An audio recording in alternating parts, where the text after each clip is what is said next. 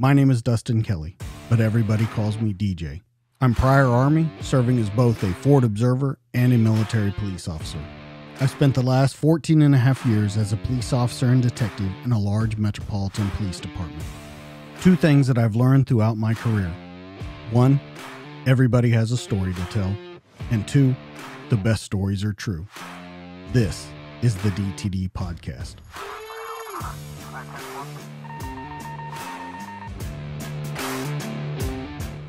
In three, two, one, and we're live. Hey guys, welcome back to the DTD podcast. This is going to be a special episode.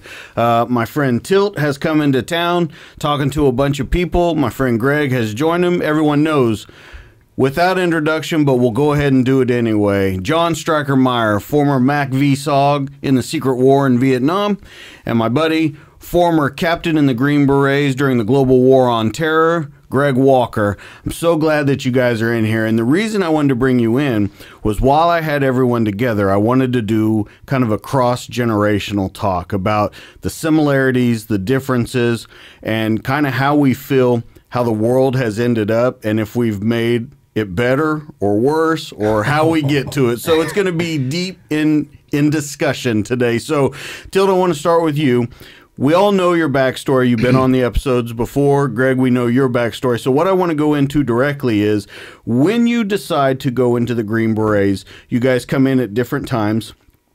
What was it about them that stuck out to you so much that made you want to join not only the Green Berets, but the secret war in Vietnam? And then, of course, after he's done, Greg, what made you join while you did? Because you were prior enlisted, went to West Point, and then went over. So let's start with you, Tilt. Well, yeah, the uh, the Secret War part was just an unknown factor. So going through training group near the end, when you got to know your instructors a little bit, they said when you get to Vietnam, you know, go to an A camp. You're young, learn how Vietnam works, hang out with these Green Berets that are in their A camps. They said, but stay away from the projects. There's a lot of guys are dying. What are the projects? Well, we can't really say, but you know. And then one guy told us when you get there, you have your in-country training. When you're done, somebody's going to come out and ask for volunteers. Don't volunteer; just get assigned to an A camp. So, in my case, I flunked out of college. I read the book The Green Berets, and I was just a city slicker from Trenton, New Jersey, and that book just hit home with me. The unconventional warfare, the characters that were in there, they were all intelligent, really sharp, thought outside the box, and they were dedicated to the mission. The interesting thing about that with you, and it always has been when I've talked to you, and we talk a lot on the phone with each other, you always kind of want to go against the grain a little bit just to kind of show people when they tell you, hey, don't apply to that stuff. You're like, oh, really? I'm going to go ahead and do it's it. a little part of my anti establishmentarian mentality. And, and, that's what's always interesting is that you wanted to be a Green Beret, but there were Green Berets telling you, hey, don't be part of these projects and everything. And you were like, you know what? I want to check those out. And, and when you look back on it now, is there anything different that you would have done maybe not gone to it or that was the best decision you made? How how did that work out for you? No i would have done it the same way. I mean um, everything was new for me. The war was expanding at the time and it was 68 which was the worst year in terms of our casualties both in the secret war and in the vietnam war because of the tet offensive. And um, we had a mission which was uh, fighting the communists there. And um, so no i would have done it the same way uh, maybe we could have learned a couple more lessons to be a little bit better in land navigation. uh, you know, in, in, these past couple days that we've been recording in the studio, I've heard more than one person say that they wish they were better at land navigation. At, at one point, they even said they, they circled around and hit the same spot a couple times right. while in oh, country oh, sure. before they figured out, hey, I don't think we're on the right route. Well, thankfully for Special Forces training, it's teamwork, and I always found somebody from Texas who would know how to get who would get around, and that saved my ass. All right, Greg, to you. Different era, global war on terror, still though a very big turning point in not only American history but in world history. What made you decide to do that after all of your stuff, as we talked about West Point, being a medic before that? What made you decide to be a Green Beret? It's funny you ask. Ultimately, I didn't want to be. Like, I remember going through Ranger School and telling myself, I'm not doing this again. Um, but I remember I remember applying because I was on a mortar PL or a mortar team. So I was a mortar PL and we had a small team. I loved that environment where I knew everyone well. I was going on missions with everyone. It was really well involved. And so that's really what led me towards SF and applying. And that what validated that for me was my first deployment. There was an SF team in RAO 3314, and they were doing some great stuff. Awesome team. I actually happened uh, to have an opportunity to go out there for a couple weeks and integrate with them uh, help with some of their mortar fires, and just um, try to build that. I don't want to say esprit de corps, but that uh, collaborative effort since we were in the same battle space. Um, and just seeing how they functioned. Everybody was very driven. Everybody was very intelligent. That was absolutely something I wanted to be a part of. And so that's where that to me was very validating. Uh, I wanted to be on a small team of guys that were driven, competent, and cared about each other. That was a selling point for me. Same for you about the small teams, the the camaraderie. Same thoughts for you in Vietnam. Absolutely, because with the book, you read about the A teams where you had a, a team captain, and who would have his A team, but the enlisted men were, were the backbone, and they really got it. And it's just like, wow, what these guys could do with a small unit working with local people to help them defend themselves. That's it. That's what catch me out. I didn't want to really want to be part of the big army and it just seems so attractive, you know. Yeah, absolutely. The training that you actually received before you went in country, before you started deployments. Now, of course, you had deployed before you were a Green Beret, but the training, I want you to kind of talking back and forth with each other in this next section about the training, what it, how it was the same, how it was different, because I would like to see over that stretch and that cross generational if they kept those same core values, that same core teaching in order to turn out the Green Berets of the future. Let's start with you in Vietnam and the training because you did a lot of training plus in country training before you actually headed out on missions. Yes, absolutely. And uh, we had our, when we arrived in Vietnam, we had three weeks of in country training. So you learned everything from working TAC air, using a lot of experimental helicopters, so you had to use to get familiar with each one. Although we never worked with the South Vietnamese Air Force and uh, that would be part of the culture shock later on. And um, then after three weeks, then you're getting ready for your assignment, and that's when the uh, little guy comes out and says, "We're looking for volunteers." And even then, we, we weren't really clear about what it was. We had rumors and scuttlebutt, and uh, so the training we had in country was for more conventional type stuff. Like one example is, if you're on patrol and you get ambushed, you attack the ambush. Well, on our recon teams, if we got ambushed, we had the whole drill of pulling back. There's a there's a term I think it's the Australian uh, rollback, is it? I've heard Anyways, of the Australian peel too. Peel, that's what yeah. it is. Thank you. But it's basically you have contact be pulled back from it, so you could because you don't know with the jungle if there's ten or thirty people there with a six man recon team. Right. So that's one major tactical difference that we picked up as soon as we got began training with the recon teams.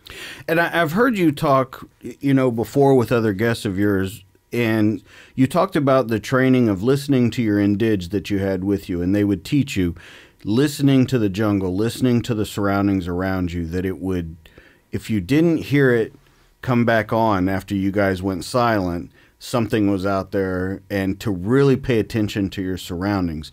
You with indigenous people same kind of training uh, was it different working with indigenous? Because i've never heard you say a bad thing. I have on the other hand heard some people say that there were problems with indigenous forces. Would you agree you never really had a problem with uh, indigenous forces? we were blessed. Our team and several other guys that had teams with the local people the montagnards or nungs mine was all south vietnamese greg my SF experience with uh, the indigenous partners we worked with was exceptional. In the conventional army, it was not. Like uh, my first deployment, we worked with an Afghanistan organization. They had a lot of problems with discipline. Um, I still remember being on a mortar position. Uh, five feet from me was an Afghan strung out on opium because we'd be walking through poppy fields. Uh, that was not a great relationship or very beneficial, but the uh, the stuff we did in Africa, the interpreters we worked with, um, very much the tilt's point. They they could expose us to things that we'd have never had been able to discover on our own. Uh, they were exceptionally beneficial. So I would say that was a very good relationship overall, very beneficial, and that's something that we've carried through. SF does continue to work with indigenous. We do. What's one of the things I like about SF as far as the special operations community? we highly prioritize building those relationships in a genuine way in order to better facilitate what we're both trying to do there. So yeah, that's why we do language. That's why we do all these things. How important and it's a pretty basic question, and I know the answer to it, but how important is indigenous personnel to not only winning the war, but winning the big buzzword, the hearts and minds of the people around you? Let's start with you, Tilt. Well, because our missions were out of the country, there wasn't a whole lot of hearts and minds in the villages and stuff. But whenever we go down for training, we'd always be, you know, always be conscious of doing things to the villagers that would do nothing to alienate them, to befriend them. Always had extra candy for the kids, treats, whatever, and, and hand it out. And um, uh, again, with the South Vietnamese, like for our indigenous people, you know, in my case, I had to earn their respect. Yeah. because, you know, there's, a, there's that famous line from Sal, who was the Vietnamese counterpart. He turned to the interpreter when we met in May. He goes, he's too tall, his feet are too big, and he looks stupid. Yeah. so I had to had to come back and earn earn Sal's respect. And it took a while. Well, and and when you say that though, that you had to earn their respect, it almost kind of puts everything on its head because you're over there helping fight to you know, free the oppressed over there, but you're still earning their respect to work with you. Did that ever feel strange to you? Did it ever feel like, man, we're working really hard for these guys and it's really hard to earn their respect? No, that, I, that thanks to SF training again, it's like, okay, this is the this is the way this is going to work. And we're working with the locals. They're, this is their war. We're here to help them. And the secret war was, you know, we had just had our team wiped out so we know how deadly it was. And uh, fortunately, we had a good 1 0, Spider Parks, that trained everybody up. And I knew I had to earn their respect. That was just a mutual reciprocity factor that's ingrained in all of us when you go through training group. Same with you, Greg, about with the indigenous learning not only to win the war, but the hearts and minds of the people around you because you've moved to a lot of different countries during the global war on terror. Yeah, it was. We were always renting, and they were always permanent occupants, right? Like, so there was a commitment difference there. That's uh, a good line. And, and, they they would just tell us that, like, hey, we know you're only going to be here for one deployment or six months or whatever it happens to be. So the implications of what you do, and they, they wouldn't articulate it quite this way, but the implications of what we did would affect them for much, much longer. So we would try to push these high op tempo things. We'd want to do a lot of missions. We'd want to go out and uh, integrate with a lot of different sub communities um, and they were, in many ways, it felt like they were slowing us down, and it can. But then when you counter that with the understanding that they're, this is where they live, it changes your perspective on it, and it helps you take more of a long-term perspective on it. And I think that that ultimately is the most beneficial way to go about it. So that's where I think that it's very similar, frankly. Like you have to earn their respect. You have to show them that you're competent and that you actually care about them before they're ever going to be invested enough to go out and do missions with you. I know in Africa, when we were working with some of the Kenyans, they'd have a lot of vehicle issues. They had to know that we knew the mobility stuff and had the recovery gear to help them, uh, and weren't just going to leave them in a firefight. You know, and it takes time to build that trust and that kind of credibility. Well, and to that point, though, when you say it takes time to build, compared to you when you're over there for an extended period of time, same country working the the same missions, uh, you are changing up your mission set and you're bouncing around uh, six months here, six months there. You don't have a long amount of time to build that up. So I want to kind of compare those two. You have a long time to spend and get very close, and you're still very close with a lot of those people. Is it the same for you having that short term to build that relationship up? I think it makes it tough, but that's where I just I love SF so much as an organization because we're ingrained to be health like comp- or competitive in a very healthy way and not a cutthroat way. So like the SF team that came before us, they set us up with missions, they set us up with relationships, and then we try to do the exact same thing. So like that last week of our deployment, whenever you were doing that RIPTO and you had that other team in country with you, you would go introduce them to the president of this area or hey this tribal leader. Um, and so that way and you'd already have missions planned for them. They'd be doing all their internal planning but you'd you'd have everything set up and coordinated. So that way they can come in and there's no slowdown in op tempo. That's the in my opinion probably the best way to go about achieving that. But it does make it tough to really build those like long-term commitments or those long-term relationships to your point. Tilt? Yeah and for six months i mean that's even tougher because in our case we had June and July. Those were the first two months. Where in your case, you would have been one third of your tour done. Yeah. And we did local ambushes in country, which was not a big deal. And then we finally started having a couple missions in August, three months later.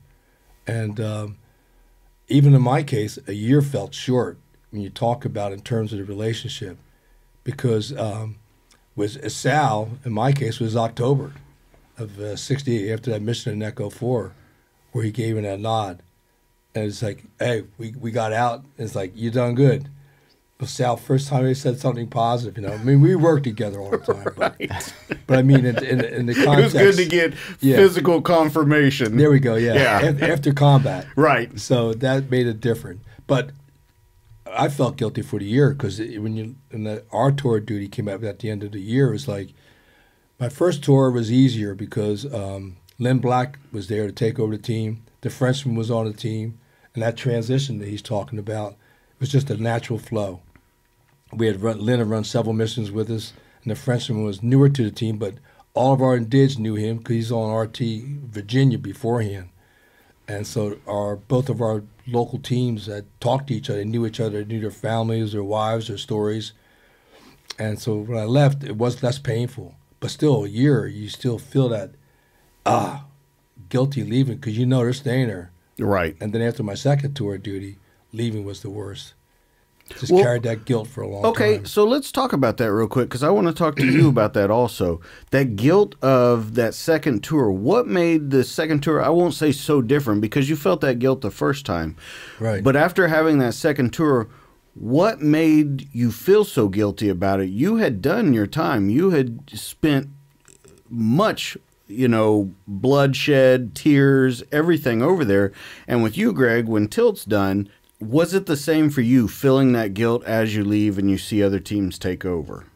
Well, for my second tour, the difference was we had I had a, a young one-one assistant team leader, John Engels, and I wasn't sure if he if he wanted to be the one zero or not. And I knew that uh, he'd been on the team for three months. We had a, a couple really hairy missions together. He proved himself in the field. I wasn't worried about him tactically, but you know sometimes people don't want to be one zero, like the Frenchman. He says, "I don't ever want to be a one zero. I'll run recon till I die." So there are some people that didn't want that responsibility. So in my case, I wasn't sure, and my tour duty ended suddenly because of my commanding officer. And so instead of having a really good transition from the first tour, I came into camp after we had a major disagreement. He says, "You're leaving tomorrow morning at first light." So we had a team going away party, and everybody got drunk. They all passed out one by one the last one that was awake was Hep, my interpreter, and he. We all had drank too much, of course. And Hep goes, "My, do you need anything else?" I said, "No." And we're outside. He literally was sitting on the steps. And he rolled over and passed out on the step. so I had to pick him up, dust him off, and put him into bed. And I was standing there like, "Oh my God, I'm I'm leaving tomorrow morning, these guys are here for the duration." And you know, the Vietnamization was in place they're beginning to downscale the U.S. involvement, and it's like, what is the future for them? And so I was near the end of my enlistment, and I knew I was going to go home. A, I felt guilty about that. So it's more of a personal level, nothing to do with the training side of it. It's just on a personal level, knowing these guys. And I was alive after 19 months of running missions with them, thanks to them and all our air support. Only by the grace of God, you know. Absolutely. Greg? Um, I think it's situationally dependent, at least for me. Afghanistan, yeah, I, I have worse feelings about those relationships just because of the way things turned out, especially the way that we left Afghanistan. That was more than unfortunate, frankly. Uh, in Africa, I feel like we helped those guys move the football down the field, and I feel like they're doing better after we have, even after we have left. And I think they're on that that positive trajectory. And so I, I don't feel bad about those relationships. I actually feel it's very rewarding to feel that way uh, that we're able to be value added ultimately. So no, I don't have. It just might be different based off of the situation, frankly. Well, know. also, you hope to work yourself out of a job. absolutely. You get Absolutely. the locals trained up to the point where someday they won't need you. Right. And that's the ultimate goal is to say, you know, whether it takes five or ten years, you take time, you work with them. So someday you can say, leave your dirt, we're gone. And you can do your own, and if we still maintain a relationship. but not necessarily have to be there in the trenches with them because they're trained up. But the thing about you, Tilt, you know, when you're working, and we've kind of touched on it during this conversation, is you're running across the fence. So you're working with South Vietnamese, but you're working in other countries that aren't necessarily their home country, but it's definitely feeding the cause in their own country. Is it different? Is it a different feeling working in these other countries to protect a country and working in the country that you're actually trying to protect?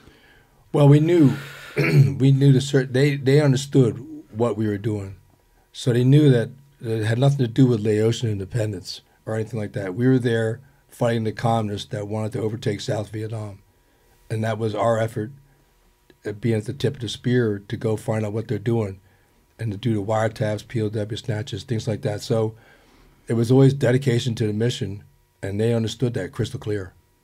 And we had on our team, we had three uh, men who had grown up. They were born in North Vietnam. They came south, and they would rather die fighting communism in South Vietnam than live under the communist dictatorship of Ho Chi Minh or any other asshole. Greg? I think that at least in today's environment, like with the the terrorist activity and the terrorist organizations, it's almost universally fought against. So like I always saw that as very that everybody's been very supportive as much as they can be. Um, in Afghanistan, the trouble is when you're so closely you're living in such a close environment that those people are torn between both sides. If they get show preference to one, then they get ostracized by the other, and so they're walking this fine line of trying to keep both off of their back ultimately. In Africa, they were ab- absolutely against, like the local population was absolutely against any terrorist organization that was in the area. Even if they did seem legitimate, even if they did have some influence, as long as they didn't have control, they were wanting that to go away.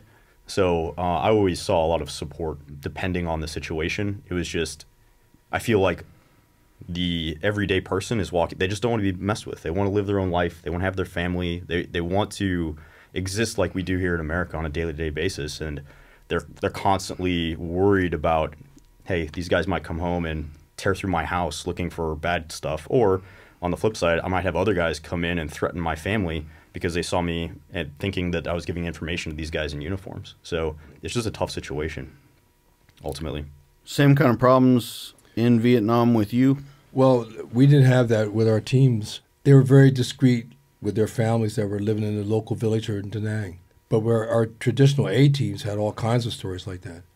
I mean, uh, stories of our medics going out and working with the people in the village, uh, building rapport, and the Viet Cong would come in and just kill families, you know, indiscriminately, and that would be they send a message: don't work with the Americans, and just sounds like stuff that the Hitler and his his troops would do to any enemies to the Germans during World War II. You come in and kill innocent villagers to make a point. point, and um, so we didn't see that from a personal level. they were concerned about the Viet Cong and sympathizers but they were very careful with their families, so we never had any issues that surfaced that we ever heard of. But the A team, uh, the A team SF men, had situations for sure. I want to talk about the similarities and kind of the differences between Afghanistan and Vietnam because I think, Greg, you and I have talked uh, about it. I think there's a lot of similarities between the two. Not only the kind of unconventional fighting that had to be done, but also uh, exit strategies, people in political offices that weren't on the ground making decisions. And I want to start with you about about Vietnam and talking about exit strategies, people making decisions that had no idea what was going on. And then, Greg, I think you feel kind of the same about Afghanistan. So, Tilt. Well, there's been books written about the ineptitude of the uh, both the Kennedy and the Johnson, and even later the Nixon administrations in terms of execution of the war had they approached that war the way they did World War II, I think there would have been a dramatically different outcome. And of course, the um, ridiculous political scenarios. Instead of fighting to win, you know, giving Cambodia and Laos carte blanche, and the NVA would muster, put together. Cambodia had hundred thousand before Tet, and then in the North and Laos, when we arrived in in '68, there were 25,000, at least 25,000 troops by 70 there was 45 to 50,000 That included two battalions that were trained up sappers. Their sole mission was to track a recon team, kill the Americans, and leave the Indigs alive for psyops. And so with that going on, and then my most ridiculous situation on on uh, Thanksgiving Day, we had a mission, had contact when we left threw a white phosphorus grenade on some commies that were shooting at us on the helicopter. I think you need to set this up though and tell w- why this story is so important about the white phosphorus. I think you need to set that up. Well, um, I was just trying to take a shortcut to get to the politics. no, no, no, no. Let's uh, let's talk about because I think it ties into the the politics and what we're talking about very very much so. Well, we had, we had gone TDY to FOB six at Honuk and uh, our first mission was we have three NVA divisions that are missing in action: the first, the third, and the seventh. So I we briefed that night. The CO was there, S three was there, had intel reports. Well, the good news is the next day on Thanksgiving Day, after a nice Thanksgiving dinner, we went in. We found at least two of the three divisions, and we barely got out alive. We literally, the recon guides just smiled on us. We literally walked into a base camp. Fires were lit, smoke was still coming up, and the point element of the new division chased us, and the tail element from the other division chased us back to the LZ with a running gun battle, claymores with five second fuses and we get to the LZ. The Green Hornets came in and pulled us out under extreme fire. And as we're leaving, well, we had a briefing. Don't use white phosphorus grenades because of politics again. because of politics. So And we had no TAC air in Cambodia. The and fortunately we had the uh, we had very good gun crews. In this case, it was the Green Hornets from the Air Force uh, 20th Special Operations Squadron. So they're pulling us out and I go, "Fuck you," you know? And they there were all these guys were just trying to kill us. So it's like, okay, this is payback. We left two days later. We inserted it to a target. I think it was Highway 31 in Cambodia. Uh, Bubba Shore had put a perfect mine in a, in this road, the highway. The communists had gone by. It had thick jungle. We put the camera out, taking pictures of these guys, and had the ambush set up. The, the mine was in, and we got a to call clear frequency. General Abrams orders you return to base now. Cease and desist, whatever you're doing, you'll be picked up. Give us an LZ. So instead of doing the combos thing, we said, I can't hear you now, blow up a truck and get a POW. Um, we pulled back the ambush, went back to base, and we learned that Premier Sihanouk had filed a formal protest about my white phosphorus grenade. and they pulled us the out of premier the of. Cambodia. Yeah, the premier of Cambodia. And he wasn't concerned about the 100,000 commies that were hanging out there from North Vietnam. So that's the epitome of uh, the ridiculous political situations uh, that we were up against. And, and what was your excuse why the white phosphorus came out? Well, the CO was pretty good because he really wanted to know where these guys were. So now we, the good news is we found them. Right. The bad news was, you know, they chased us back to LZ. Um, so I told him, I said, well, sir, officially for the record, we had been in combat and the white phosphorus fell out and somehow it exploded when it landed on those poor commies. I really felt bad. And then I said, he said, well, what really happened? I said, no, fuck them. They were commies trying to kill. He said, okay, I'll cover. Greg, with you, uh, politics about Afghanistan, because I know you feel very strongly about Afghanistan, tilt as you do about Vietnam. Let's talk a little about the politics, stuff that you saw where people are making decisions that should not be making decisions. Yeah, I mean it's tough. I hate to put myself into a position to be judgmental because, like, the, especially the guys that I've worked with, the leadership I've had have been phenomenal. They're guys I still respect and admire to this day. But I do struggle with just simply right, like three or four years prior to all of this, it, this was such an imperative situation that is extreme enough for us to go halfway across the world. Where, frankly, there are several friends of mine that'll never come back from it. And then fast forward to when we're doing, we're leaving. Now all of that doesn't seem to be the same. Uh, and I struggle with understanding why that changed or how that changed.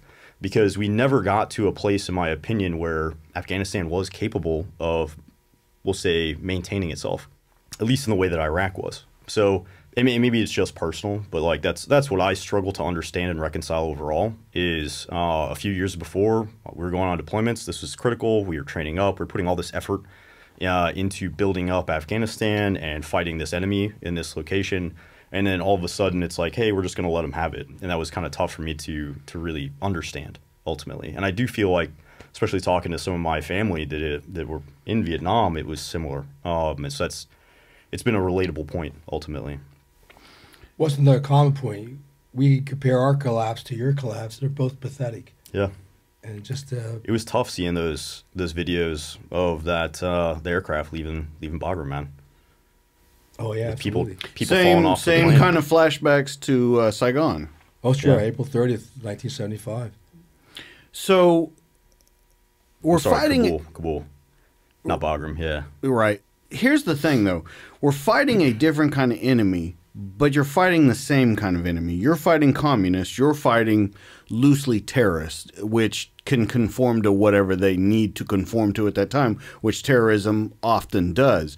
You're fighting the communism and a almost an ideology. Would you consider terrorism an ideology too because it's changing to what it needs to be every time it needs to change into something. I think that it's more fragmented, but I, I do think it's in it's ideologies maybe. Um, I think that that is what allows these groups to garner the support that they have, uh, whether it be religiously based or locally based off of tribal relationships, which you see a lot. So I do think that that is an aspect of it. It is I, I would call it an ideology ultimately. And don't forget today, they have TikTok, and I've talked to SF guys that said TikTok does a better job of recruiting for ISIS and the enemy forces than any anything out there right now today. And that's interesting that you bring that up. So let's talk a little bit about the technology from your time to them. You're right. Terrorism is now recruited online. Like you can find someone that's never seen that side of the world, has never opened a Quran, anything like that from St. Louis, Missouri, and 6 months later they're training in a group in Russia and the Middle East. They're training with terrorism groups.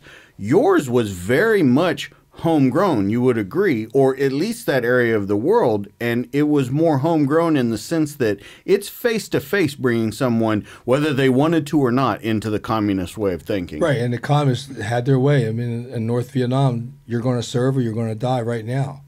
So they, they had their army, and people had to do what they were told. And so that was a straightforward communist document doctrine being implemented on the battlefield. That's why they kept resupplying, and of course they had the Russians and the Chinese supplying them with the supplies of weapons, anti-aircraft, all that sort of thing. But it was it was you're right. It was all indigenous. It was all in country. Whereas today TikTok could be anybody, even Americans that have succumbed to that propaganda to wind up fighting another American in Afghanistan or Iraq. Greg, your thoughts on it? Yeah, smartphones have changed the world, right? Um, to your point, it's just so accessible, right? It's there in your face. You don't even have to look for it, and you'll those things will pop up on Instagram, TikTok, all these social media applications. With that, though, the options you have with cell phones, as far as what you what they'll tell you, right? The accessibility of reaching people, that also changes the battlefield and how you interact with it. So it's just an interesting way that things have gone over time. But that is how people recruit now, right? Internet, cell phones. It is, and, and it's funny. The more I think about it, the more ideological I really do think that it is now. Like it isn't someone sticking a gun in your face. It is someone presenting. Like you see a video and you something that resonates with you, or you believe in that, and that's what motivates you to, yeah, fly halfway across the the world and go do this crazy thing. You know. When we talk about the fighters and the difference in like we talked about with yours you either fight with us or you die and your family dies. Uh, recruiting is kind of free. I'm sure they do take people without their permission to fight for them. Which do you think makes a more harsh fighter? Because you the guys you fought were animals fighting them. Same with you. Some of those weren't there of their own free will but still fought like animals for a different reason for fear of being killed for not fighting for the cause Uh, they have a good officer in the, with the Communist Party back there with a pistol. Right. Go charge tilt, or I'll kill you. Right. Oh, okay. Well, I'll take my chances with that knucklehead from New Jersey. yeah Yeah. so do you think that that makes them more full-hearted into the battle or do you think that there's a lot of second guessing going on because they're being forced to fight this battle that they may not want to fight Well, there's been some good books, I'm told. I haven't read any of them yet, but I've heard a couple guys that have read books by North Vietnamese soldiers who talked about coming south, getting bombed, and upon reflection, learned more about the United States. And had they had the opportunity or the freedom to think about what they wanted to do with their lives, they would have done something different. And, uh, you know, again, it's just communism beating people up to do what, what the rulers want. And it's terrifying. And it, it does it definitely makes it for, an interesting battlefield. You know, again, we're talking propaganda here. The people are told this, they never get it. They no internet back then. They didn't know what America what we were, why we were really there. You know, our special forces mottos, de oppresso liber, to free the oppressed. We're not there to conquer or take your land, regardless of what Ken Burns or any of those other assholes say. Um, we were there to help fight communism. And um, the propaganda was what they heard, and they didn't know what other part of the story was from South Vietnam. They just wanted to be left alone, and they didn't want to be communists. And the guys on my team, they would say it. Our government is corrupt in South Vietnam. We know that. But we can live with a corrupt government here. It's better than living under the communist thumb. Which is an interesting thought to to think about that they would rather live with a I guess the lesser of two evils A known or the entity. pick your poison. Yeah. Yeah. You know, it could be the guy that beat you up or the guy that can't keep the lights on and beat you up. You know, it could be it could be worse always.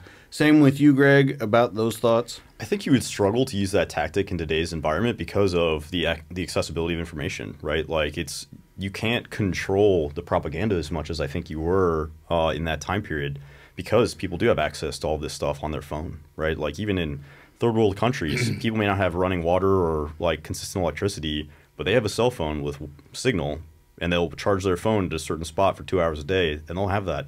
They'll be doing they'll be using Twitter, they'll be using Facebook. It's it's a very interesting world that we live in, just uh, in this time frame. But I don't think you'd get away with that, like on a large scale, just threatening people to be a part of this organization, because I think that the information is out there, it's pervasive, that they have other options ultimately, and how to do it, right? Via the internet, via Facebook, and all these other different uh, mediums, they can reach out to people. They can help them get into another country or get out Much of their more situation. sophisticated propaganda. It has to be, Yeah. Yeah, That's what it is, no matter how you cut it. I mean, I'm biased. Yeah, I think you're right, I, and I think Yeah. that it's more ideologically based, right? Sure. Like you're trying to convince people instead of force people necessarily. So there's maybe less coercion. I don't know. Yeah, indeed. Well, they, they well let, yeah, let's talk about that. The similarities and the differences, because in Vietnam, psychological operations were huge. PSYOPs is still a very important cause in the special operations world. But like you said, it's a different world now with those psychological operations and how they're performing them. What did you see in Vietnam and in the Secret War, per se, for psychological operations?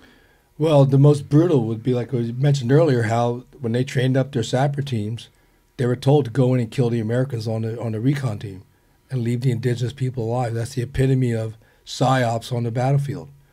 The idea being that that would cause a great concern and um, even doubt within the ranks. And after we we've been told about it, briefed on it before missions, and until you see it happen, where we lost teams like that then you just realize what the impact is. And teams that weren't, or new teams that were just forming up, that may have caused derision within the team. But again, my team, we sat down, talked about it, said, look, this is what happened. If you hear anything, tell me. And our team was always cohesive on that. And uh, even to the point where when we moved to Da Nang from Phu in, in January of 69, we went down there. We had our team meeting when we arrived and we told them, don't forget August 23rd, 1968, when Da Nang was hit. We lost 16 Green Berets that night in one attack, a sapper attack. And um, we said, if you hear anything, and please go find out. If you know anything about any Viet Cong here, or that you feel they're suspicious, let me know or how we should deal with it. They said, we'll take care of it. We'll find out. So if there is ever an attack, we'll know who they are and we'll take care of them. And they talked to some of the other teams like Virginia, and Michigan, those RTs that we knew from FOB one that moved south, the little people were talking to each other, and so that's the way they worked together to deal with that. Greg? I think it was very similar, frankly. We were talking about targeting and psyops. I always thought initially like psyops is pamphlet drops and that type of thing. That's that's really what I was exposed to. Which really, and that's how it did start. I mean, in earlier Well- wars where you're dropping pamphlets from aviation coming over. I mean, well, you also had, I mean, from the time that the North Vietnamese defeated the French in May of 54 at Dien Bien Phu, they were moving south already to take over the south because it had been delineated at the DMZ. And they had people coming south, they had their propaganda, they had people in the local villages that were moving forward with those efforts. And that had been going on for years before we got involved. And those efforts just kicked up. So those were behind the scene, and they were very political and they were savvy about it. I don't think I don't know if we ever really caught up to combating other than maybe through the Phoenix Project and a couple other things that was designed to go after the infrastructure of the Viet Cong in local villages, find them, capture them, interrogate them, and remove them from the battlefield one way or another. I, and I think those things uh, are impactful, but I wonder how. I don't think they're as powerful as the, the example you're presenting, right? Like when you're actually targeting American forces and leaving the partner force, I, and that still happens to to this day. We experience that in Africa, frankly. But I think that though it's more action based, like the more powerful psychological warfare mechanisms are, are action based, uh, more than they are just necessarily a pamphlet or a, a post on social media or something to that extent. And I got and that maybe isn't something I've really been exposed to as much. I know we had a MISO unit or a PSYOPS unit working with us uh, whenever we would deploy, but um, that was never the like the focus of what we were doing. Like it was much more action focused, admittedly, and we did a lot. We'll say by, with, and through our partner force. Um, that was probably the most effective way we found to impact the you know the environment and the the people in the area. And maybe even to some extent, it's some of the stuff we did that I found actually genuinely rewarding as far as doing uh, med caps or medical capabilities uh, operations where you would open up like you'd have a small clinic and you would invite the local population to come out. Like you teach personal hygiene you would help them with like just basic medical stuff. That in and of itself is arguably a, a psychological operation because you're trying to as you put it win the hearts and minds like build that that like genuine support and show that you are you know committed to the local population and the betterment of the community as a whole did you find that that worked? I don't know how you would define success necessarily on that, but I do think that that helped. I think that that helped us to build the kind of operational success that we saw because in at least with what we've done in kind of Afghanistan in the modern era, the civcas and civilian casualties is a very significant concern. And so I think that that helps with those situations because there'll be a lot of false reporting, right? The enemy knows that that's an issue. So if they, they know that if they can say, oh, well, they weren't bad guys, they were actually, you know, my uncle or my brother, and you just killed them for no reason. It helps when the local population can come back and be like, nope, those are actually bad guys. If they can confirm that on your behalf and they have no real incentive to do so, that's a big help. And I think the way you build that that situation is by showing them that you do care, like that you're, that you're genuine and that you're, that you're there to support that community. So I think in that regard, it did help. Yeah, those med caps were amazing. Cause we even had them at at, at our FOB one. They would have local people from the local village come in, or team members with family members that had illnesses, pregnancies, VD, whatever it was. They would come in and they work on it. You know, help patch them up. All right.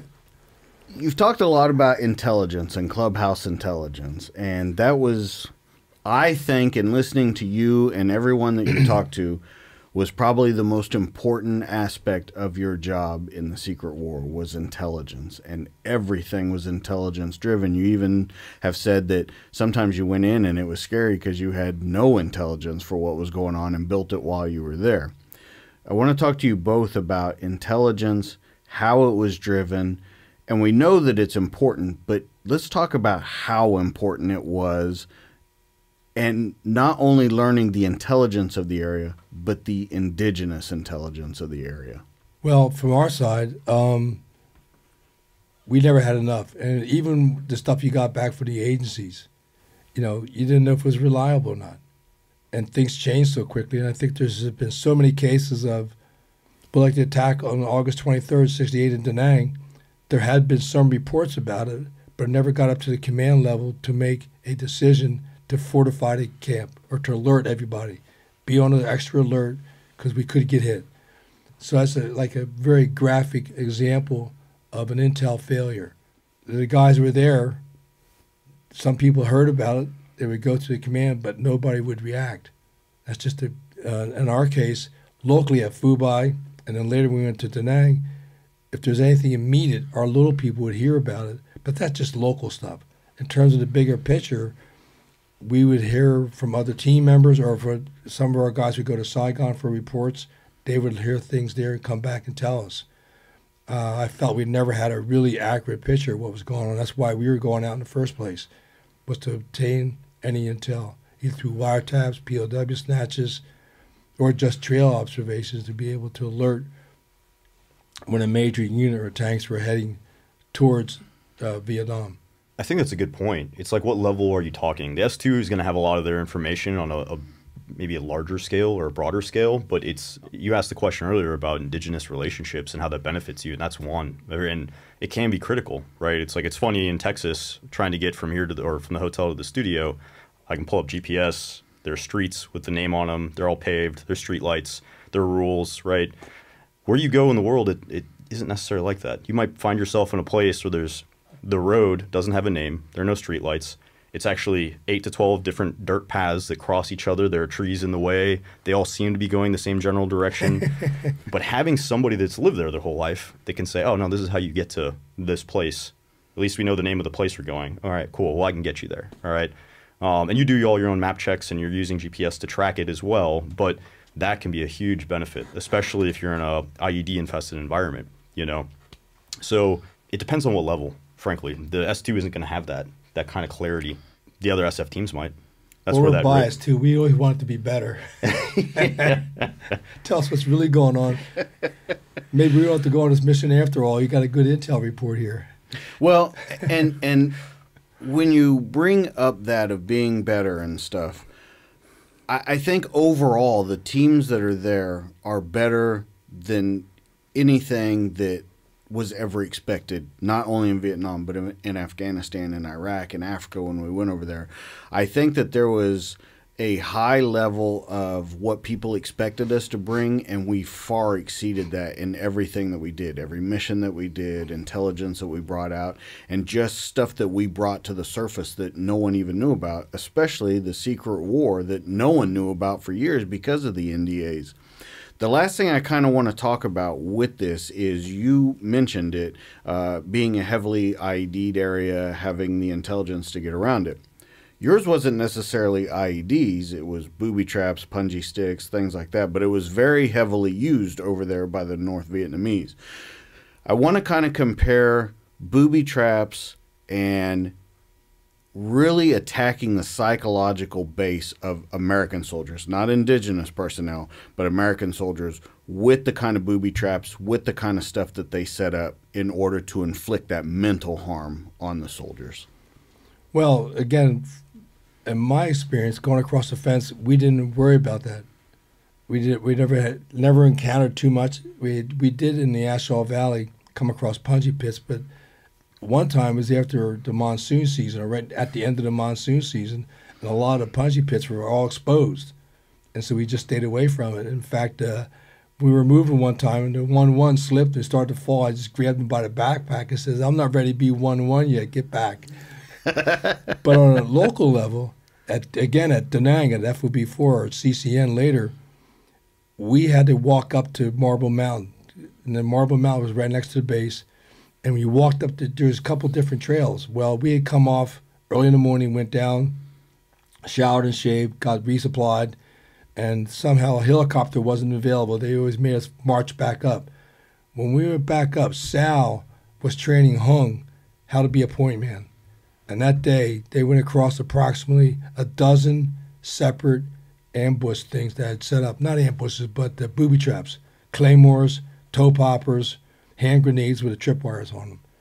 And it took us several hours to get up to that mountain that day because the Viet Cong had come in when we were down at the bottom and they put all that shit in. Now, had, been, had that been me running point, I wouldn't be here. I'd be fertilizer on Marble Mountain. But the indigs saw it. So that would, so those booby traps were there. And again, when you're on Highway 1 just driving in country, you're always worried about getting ambushed. That was always a constant but nothing like what these guys put up with with the IEDs. Well, I want to talk real quick before we get into the IEDs with you. Uh, you said you came down, and by the time you came back up, they had already set up 12 emplacements. How does that affect the team mentally going, we just fucking cleared this area when we came down here, and now we're clearing it going back up, and we'll probably clear it when we come back down and go back up again? Does that ever get into the psyche and go, shit? It's almost overwhelming like a wave where they just never seem to take a break. Well, and again, they would they wouldn't do it every day. They would do it when they wanted to. So they would depend on human nature getting lazy or careless. So fortunately, that day Sal was training Hung, and he had a great training session. He became a good point man after that.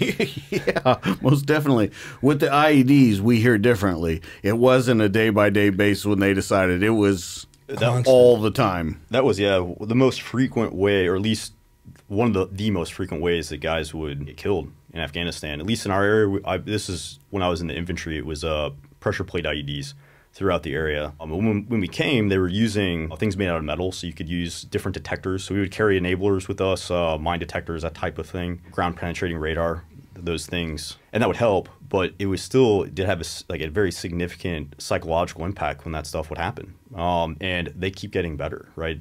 It's funny you can think about these different countr- countries, and they may not have the education and the the training that we necessarily do, but they're still very intelligent and cunning. And so like they realized that if they put it in the ground on a, a trail, that we would be looking for with our enablers, and that's where we would scan. But we weren't scanning because where we were, the way they would irrigate was they would dig these troughs along their fields, and then they would flood them with water to uh, hydrate all their plants. And then alongside of that, they would build a little uh, wall, a dirt wall. Well, they would just dig underneath at an angle, looking like they were just irrigating their fields, and they'd place an IED at a 45 degree angle out there. So when you're scanning, you don't see it. Uh, you don't pick it up. They were also using no, no metallics. They would use chemical initiators. So yeah, that definitely has a psychological impact. But I also think you kind of come to this point where you're, you're almost accepting of it, right? Like this is why you came here to do this. Like you joined the military to do something like this, and so you you accepted risk on so many other levels that it's just another aspect of that. The most impactful times I know I talked about it last time I was on here was when something happens and it's uh, one of the guys in your unit. You know what I mean? And having to witness that and help them through that, trying to help them to survive if they do, that is where it has the most significant like impact. And it can take guys a long time to truly recover and be able to be operationally effective after that. With everything that you guys saw in Vietnam, in Afghanistan, in Africa, is there anything that sticks out from your service over there that was either you know that you'll never forget it? If you if you have a smell if you smell something the memory comes back to you. If you see a, a certain i don't know something that makes that memory pop up is there anything that stands out to you? Well, there's a few. JP4. okay. You know, that's the first one. Because whenever you're out at the airport, you smell that stuff. Absolutely. like, whoosh. And we're back in Danang here again at the airbase, you know, or the Kingbees are coming in. Sometimes with the heat, if you're around your horses and you get the horse manure going, then you think about the. Uh, we used to do some uh, training around the rice paddies just to go out for the local presence. That always comes back. Very pungent memory. but that's basically the long and the short of it. Of course, whenever you hear aircraft, I mean, to this day, we still hear all the C-130s. I live in Tennessee, so the uh, we hear the 130s all the time, or now the the Black Hawks at night. So I still hear a helicopter coming before anybody else. anything have you ever had any adverse uh when you hear that and that memory comes back anything adverse or does it take you back into the moment at the time or is it has it been enough time where No, it's, it's, just, like a memory Yeah, it's just a memory. It puts me in that place and time, and uh, you know, there are cases when I hear some songs or something like this. We'll think about some of the team members, the indig, you know, because one of our one of our guys, Chow, was learning how to play the guitar, and so during our second tour, they forced us to do isolation before a mission, which I felt insulted my local people, but we did it. And so Chow, would, he was learning how to play these Beatles songs like um, "I Want You, I Want You So Bad." yeah, and here is he is, here's Chow singing the Beatles song, and this is right after the White Album came out, you know. Number nine, number nine. He got that line down really good. Anything with you, Greg? It's like it's like burnt trash for every reason. Like the smell of burning trash. Some food smells like ethnic food. It's the same. It, it's not. It's a compelling memory. It's not like a, a flashback or anything. It just kind of brings me back to uh, a certain time and place. Ultimately, I want to finish up with you guys just kind of saying your thoughts about how you think that the generations have come up after special forces. Well, before your we generation. do that, we got to talk about their equipment. I would Okay, Run, I would have uh, run absolutely. Over, I would have run over your mother to get one of his nogs. Let's talk about it then. The equipment. oh, Uh, they had great stuff. yeah, it's a blessing and a curse though, right? Because yeah, you've got all this great equipment, but it isn't light, right? And you got to carry it all, and then that becomes an, a, a requirement, right? You got to have the batteries.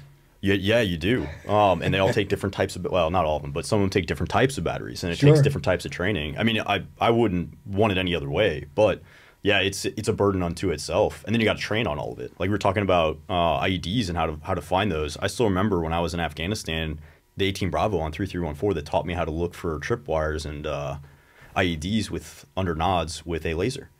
Like if Really? you're if, if as you're yeah as you're shining your laser, if you see it flicker, there's something that's breaking that beam. So yeah, it, it's a great benefit, but you got to learn how to use it. You know what I mean? And that takes a lot of training, and you only have so much time before you go out and hit that hit that target or go on that deployment. But no, it's definitely a benefit. Yeah, well, thanks to our technicians. I mean, they had the nog, they owned the night, whereas most of us stopped at night. We did have the uh, starlight scopes that came out, very primitive, very heavy, and they ruined your night vision. And we only used those on local ambushes because of the weight. Never took them to the field. Now there, there have been a couple teams I think that did take them. I forget what the results were. I want to speak on their behalf, but nothing like what you all had. So I always kind of when those nogs first came out, because we had rel relationships with some of the SF guys. They talk about it, and then you put those nogs on today. Oh my God, that would have been great.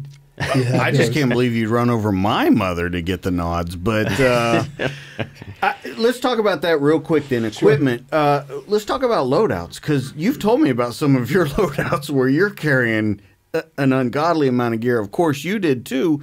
But I think there's separate kinds of loadouts. I think they're different kinds of loadouts for the different kinds of warfare that we were doing. Although it's the same, it's very different. So let's talk about a typical loadout for you and a typical loadout for you. Yeah, so I always carried the Prick 25, which, which was our initial commo, uh, FM radio. So that's our link to to all the air assets.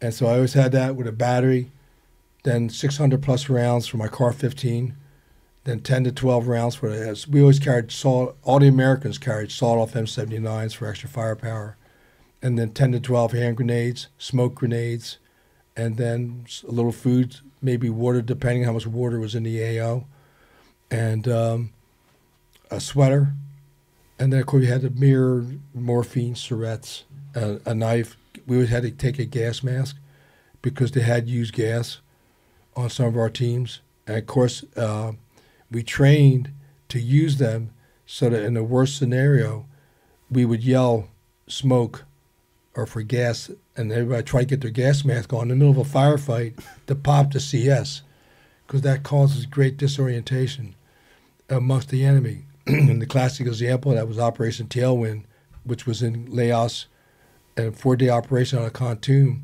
And when the last helicopter came in to pull out the remaining Green Berets and their indigenous troops, they made gun runs with Skyraiders with CS gas, and it disoriented the North Vietnamese enough that the troops could get on the CH-53 Delta and leave, and they ca they got, got heavy weapons fire on the way out, but they got out. So um, that's that's the long and the short of it. What do you think was your weight of your typical loadout? We had a cheap little scale. One day I stepped on it with and without the web gear. I think it was around 85 or 90 pounds. Okay. Greg, with you, loadout? So I would have plate carrier, front, back, side plates. Um, I would carry about seven or eight M4 mags, M4 suppressed, uh, Glock 19 with probably 30 three, round mags. 30 round. Yeah, yeah, a few more rounds, less mag changes. Indeed. I Another had- benefit that I admire. We would die for one of those. I'm definitely not complaining. Yeah. Yeah, yeah. Uh, so yeah, those are those are weapons. Oh, I used to carry a grenade launcher too on slung on my back for marking and for uh, indirect. Two radios. I had to listen to one in each ear uh, through Peltor's talk higher and talk on the team. Uh, helmet nods. Nice thing with the radio, instead of having to go back and change it, there's a little display unit that I used to keep up here. There's remote, so I'd run that cable up, and then a few uh, frag grenades is what I would carry on my person. And then my bag, I'd have extra mags, food, water, and just any other things that we would need for marking. Um, usually a VS17 panel, uh, American flag, just for memorabilia, so to speak. And that would be a lot of stuff we would do would be from vehicles, just up armored. So especially when you're in an IED environment, the MRAPs were a great tool to have, just greatly improved survivability. So you would be able to rely on some of that, uh, depending on the situation. But just for a day pack, that's what I would throw in there. Tourniquets, med kit, that was always on your person and marked. So we do the training, the yeah, the Tri-C training on that. But uh, yeah, that was my general pack. I think that probably your plate carry and all that's probably at least 45 pounds plus a bag, which is probably another 30 to 45, maybe 90 pounds. So tradition, pretty close to the same. All right, now before we got into the equipment talk, what I was going to say, no, no, no, I'm I'm glad that you brought it up because I think it's a good point to bring up. Let's talk about one you, how you think that the Green Beret has uh, evolved and what they have become. And then for you, Greg, I want to talk about standing on these guys' shoulders of everyone that came before you, the stories that you've heard, the legends that have come out of there. And quite frankly, there's legends today, but this is the basis of the Green Beret movie and what people think about the book and all that kind of stuff comes from you guys. So you talk about how they've evolved and what you think is so great about them now. And then, Greg, the opposite for you, what you stand on their shoulders for and why you think that their generation was so great. Well, in my case, we were familiar with the OSS and the Jedburgh teams. So we had the Jedburgh teams. We knew knew about, but didn't hear any definitive history for Korean Spec Ops. And then we had the SF Originals that were formed in 52. So that's the beginning of Special Forces. So we always looked up to them. And in my case, Roger Donlon, here in the Medal of Honor in 64. And um, seeing him, always wanted to, emulate what he had done. So in my mind, I always felt like we tried to improve what they had done. We stood, we stood on their shoulders, and the different generations of SF have stood on our shoulders, and they've raised the bar. People like Greg, and in, in the last five months, I've been to a third, fifth, and seventh Special Forces group, MARSOC, and have talked to some SEALs, young SEAls and these kids are amazing. And they are standing on our shoulders and they're moving the bar f- forward with um, the best way they can. And they're sharper, they got better equipment by far. And um, of course, their commanding officers are more risk averse than ours back in that day. But there's a different threshold back then than today. But I felt as though I stood on their shoulders, and today's generations have stepped forward to improve what we did. Greg? Yeah, I mean, I'm just very grateful for everything you guys have done. Uh, I know we were talking a little bit before the podcast. I hope my generation has been as explicit about it as I I'd, I'd like to think that we well that we would strive to be. But even like my uncle was in Vietnam, and I talked to him about coming home and not having the support structure that exists now. That's so critical in just the experience, right? I hope that we are living up to the standards you guys have set. I still remember reading SOG while I was in the Q course and just hearing these stories, and it's just so impressive that it seems insurmountable. I don't think that I don't think I will ever reach that that level, that pinnacle of of success. But at the same time, I'm just so proud to be a part of it and honored to even be here talking with you, Tilt. Um, so I hope that we've expressed That's that. mutual. Oh, thank you, sir. Absolutely. But it just gratitude isn't doesn't capture it. I'm just so thankful and grateful for everything that you guys have done and set us up for success in the long run. The culture probably is the most important thing. That was one of the things I love so much about SF. It was just bottom up driven. It was NCO driven, and that came from what you guys did in in Vietnam. That came from the Jedburgh teams in World War II, and we still strive to to embody that today. But it's truly an honor, sir. Well, that's mutual because these young men that I've talked to, SF are quiet professionals, and that's really a pain in the ass. Because when I go to third group and fifth group and talk to these guys, well, how many tours of duty did you have? Well, I had uh, 11 or 13. I can't remember. What? I had two. I was just amazed that I survived that. And these guys are pulling 11, 12, 13, some people are close to 20 tours of duty. And that's just mind boggling.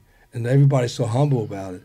But, like, as he's talking about how they made their adjustments in their different AOs, wherever SF goes, that's the way you have to do is adapt, learn, try to improve the mission, and get it accomplished. And that's these young men do it. And it's amazing the stories. But they're so humble, we can't get them to talk about them. Of course, in some cases they can. We've been over to CAG or to Delta Force. And it's like, remember the day? And these guys are talking back and forth. I'll hear them talk and say, hey, tell me about this. Well, we can't right now. okay. I think you better than anyone would know that signing the Oh, yeah, NDAs that you sure. did. So, in in kind of closing, is there anything that you guys would like as a final thought, a final note to people that are listening, guys that may be coming into this field or are already there and kind of growing into another field?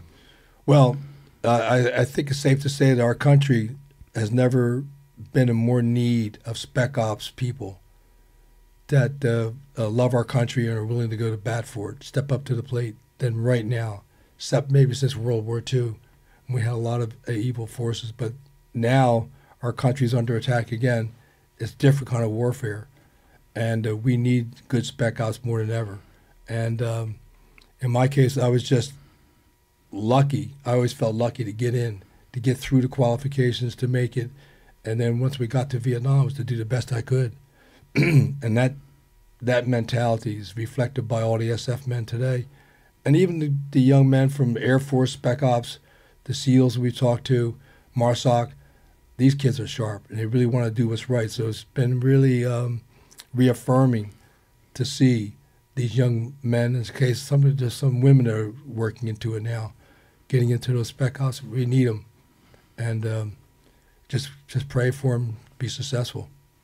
Greg, any final thoughts? Yeah, I would mirror that. That's one of the things I really like about what I do at Hatchet is I do get to feel tied into the community, and I hope that I continue to represent the, the regiment as best I can moving forward, even doing things like this. So it is a concern, but I think that it's something that we're going to figure out ultimately. It's just a generational issue, perhaps, or a short-term issue that we're working through. But no, I I'm proud to be part of the organ or have been part of the organization, and I hope that we've just set it up for success for the next generation, much like you guys have. Oh, yeah. ultimately. Because to this day, every man I meet, I judge compared to the men I worked with at FOB one, and the sacrifices that uh, a lot of them did. Well, I got to tell you, for my final thoughts, I'm so happy that I got to see two generations sit down and talk to each other. I think it is a, a great thing for people to see because I think a lot of people see, you know, a podcast or a story where it's this generation or it's this generation, and it's great to see how they come together and and kind of bond over that that love of their country and love of their teams. And so, in closing, I just want to say thank you so much. I'm so honored, Tilt, Greg, for you both being here and being part of this. Guys, uh, that's going to be it for this week. Make sure you check me out on Instagram, DTD underscore podcast, Facebook at the DTD podcast, YouTube at the DTD podcast, and then DTDpodcast.net is the one stop shop, audio and video. And we'll have this on here. Hopefully, we have further conversations with both of these legends. Check us out. Make sure you subscribe. If you don't, I'm just going to keep making the videos anyway. You're going to have to listen to them one way or the other. Thank you guys. We'll catch you on the next one. See you later. Airborne. Thanks for having us, man. All right.